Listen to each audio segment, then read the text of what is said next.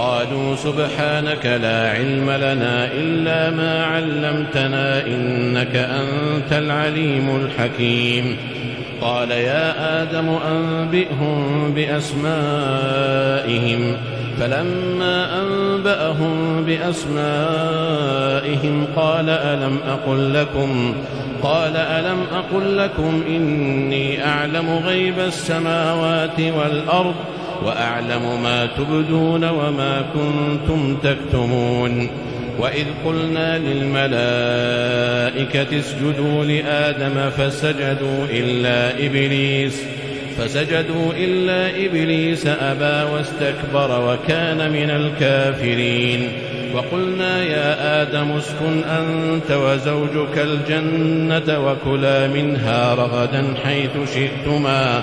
ولا تقربا هذه الشجرة فتكونا من الظالمين.